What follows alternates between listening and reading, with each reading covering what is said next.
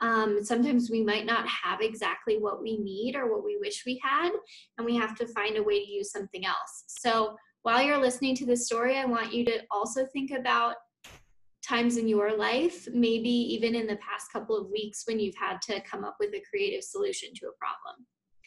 All right. So this story is called Forri the Baker. I'll try to make sure you can see all the pictures too, because the pictures are kind of my favorite part of this book. All right. Many years ago, there lived a baker in the village of Atai. His name was Forri. Forri was very thin. He dressed in baggy clothes sewn from old flour sacks, and he wore a shapeless white cloth cap that sagged over his head like a mass of unbaked dough.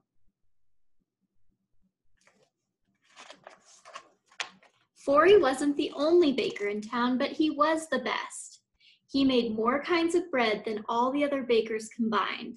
Not just round bread, not just square bread, not just flat bread, tall bread, skinny bread. Forri made every kind of bread, even kinds that no one in town had ever seen, heard of, or eaten before. Root bread, ice bread, rose bread, nail bread,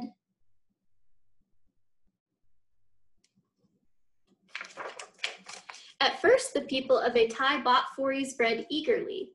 For after a while, though, some of them started to complain. Pen bread, candle bread, the villagers griped to one another. Who cares if a loaf lights up your room? Who wants to write with bread? Rumors swelled like dough in a bread bowl. Forri was odd. Forri was strange. Forri was crazy. Villagers soon stopped buying from Forri and the bakery failed. Forri moved to a shack at the edge of town. There he is in his little shack. Poor Forri. Then the Chlars invaded Atai. The Chlars were the cruelest of all barbarians. Long ago, bands of them used to invade the mountain land, but none had raided Atai for many years. Now, without warning, dozens of Chlars simply showed up with their clubs, pikes, and battle axes. No one in the village had a chance to resist. Besides, the people of Atai were gentle by nature. The mountains had almost always kept out their enemies, so they knew little of fighting and possessed no weapons.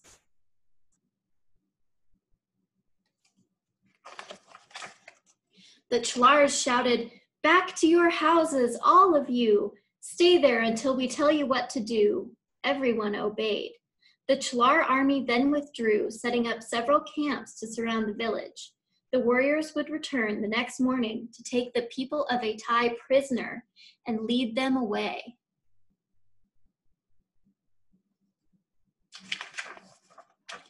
That night, the villagers scurried through underground passageways and met in a cellar to plan their defense. What shall we do? asked Ozeki the blacksmith. We can't just let these invaders conquer us. Bring your hammers and pokers, said Ilara the weaver. We'll drive back the Chlars. Tikaji the cobbler declared, I'll bring my scrapers, gouges, and awls. Whatever we have to use, we'll fight them. Shouting and cheering, everyone agreed. Down with the Chlars, they cried. Then a voice at the back said, That plan won't work. All the men and women turned to see who spoke. It was Forri the baker. There are too many Chlars, he said, and they have too many weapons for us to fight them off. We'll never beat them with hoes, hammers, and awls. What do you suggest then? said Ozeki. Wearing bread bowls for helmet, using spoons for swords? Everyone laughed. No, something better. Ilara asked, Better? Like what? Maybe bread? People laughed and laughed. Of course, Forri told them, what else but bread? The room fell silent. Forri was right about the Tslars having so many weapons, but what good was bread in fighting them? We'll hear what you have to say, Ilara proclaimed. If your plan isn't good, though, we'll go ahead with our own. So they listened to him closely. Not many people felt convinced that Forri's idea would work. Still, no one could suggest anything better. The villagers decided to go along with Forri. All night, the men, women, and children of Atai waited in their cottages. All night, they watched, listened, and wondered when the invaders would enter the village again. All night, they doubted that Forri the baker could save them from the Tllars. The next morning, well before dawn, Forri passed out weapons to the villagers as they swarmed around him in the darkness. Swords, pikes, shields, bows, and arrows, Forri gave them to the men and women. Maces, spears, and lances, too, all kinds of armor as well. Where did you find these weapons? Someone asked. I didn't find them, Forri told her. Now take a sword from the pile. Time is short. It was even shorter than they thought, for the stars had scarcely faded from the sky when almost a hundred Tllars showed up shouting, screaming, and shrieking with glee. Then the Tllars stopped short. The fading darkness revealed every wall, rooftop, tower, and balcony in town covered with men and women. And the half light showed every person bristling with weapons. Where had all the weapons come from? The invaders had searched every house, every shop, every granary and barn, yet a whole forest of weapons had sprung up overnight. The Tllars saw the silhouette of this great army, the slant of the pikes, the curve of the bows, the straightness of the arrows, and they were afraid. Little did they know it was only bread that frightened them. Swords made of bread, shields made of bread, helmets, breastplates, armor, all bread. Bows and arrows, lances, axes, maces, pikes, spears, catapults, everything was bread, nothing but bread. The two forces faced each other for a long moment.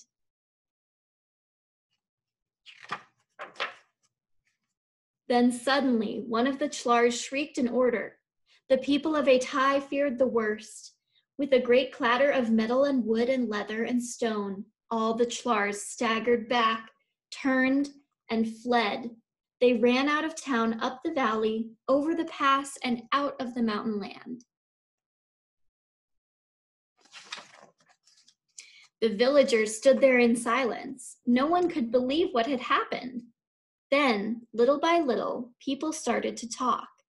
Ilara the weaver, Ozeki the blacksmith, Tikaji the cobbler, and all the rest. Soon there was a great commotion of laughter, cheering, and shouts. Forri has saved us! Long live Forri the baker! The villagers found Forri, lifted him to their shoulders, and carried him through the streets until they reached the town square. Then some people left, returning at once with butter, jelly, and jam. And to celebrate their victory over the Chlars, everyone sat down together with Forri and ate all of their weapons for breakfast. And that is the end.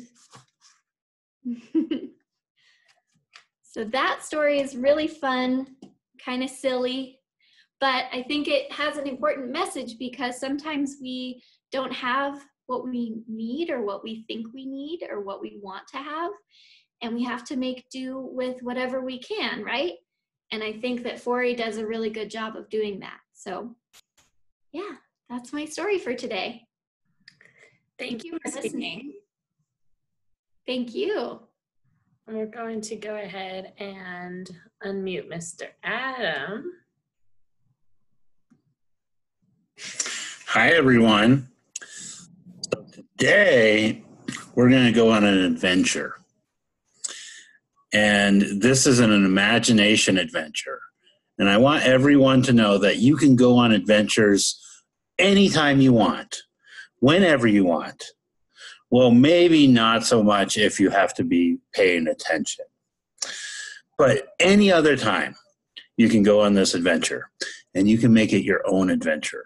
Okay? Before we start, I need you to get your body really comfortable and gently close your eyes. Slowly take three deep breaths in through your nose and out through your mouth.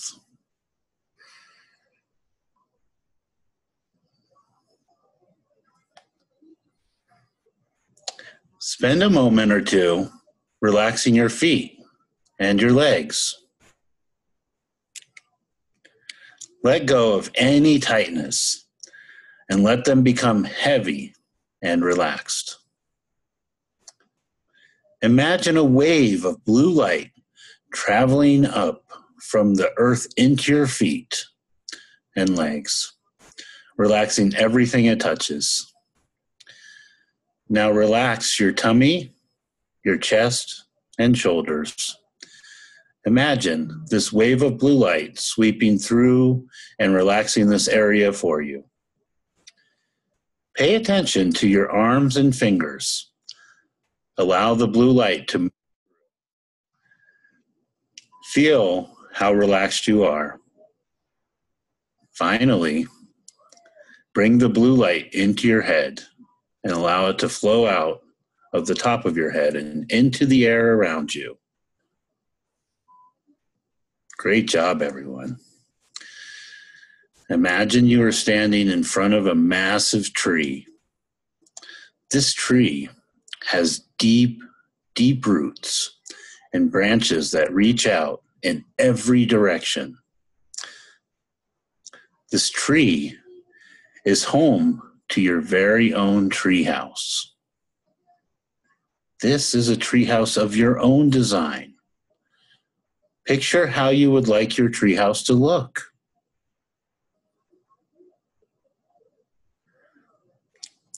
You can add swings, windows, trapdoors, plants, animals, all of your favorite things, all of your favorite colors. Just allow yourself to design the treehouse any way you like. Can you see it? Great. Now allow yourself to go inside the treehouse. Are you inside? Good. Inside the treehouse, imagine anything that makes you feel good to think about. Place pillows, waterfalls, plants, trees, birds, pictures of mountains, anything that you would like, that you feel good when you think about, can go inside your treehouse.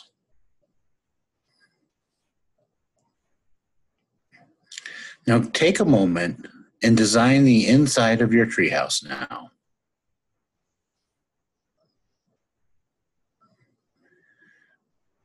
I want you to know that when you go inside your treehouse, you feel really, really relaxed. This is a place to let go of all your thoughts and all your worries. Take a deep breath and allow yourself to feel very peaceful and relaxed inside your treehouse.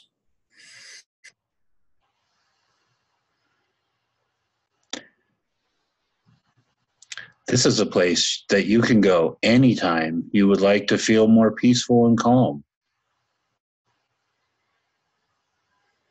Know that your treehouse is available to you anytime you would like. You can visit here whenever you would like.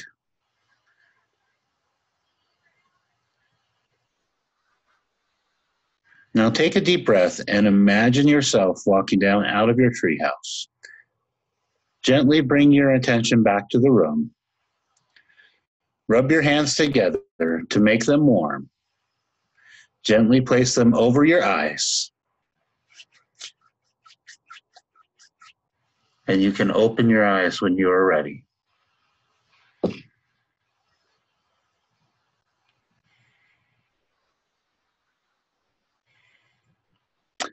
Thanks everyone for going to the treehouse with me. Thank you, Mr. Adam.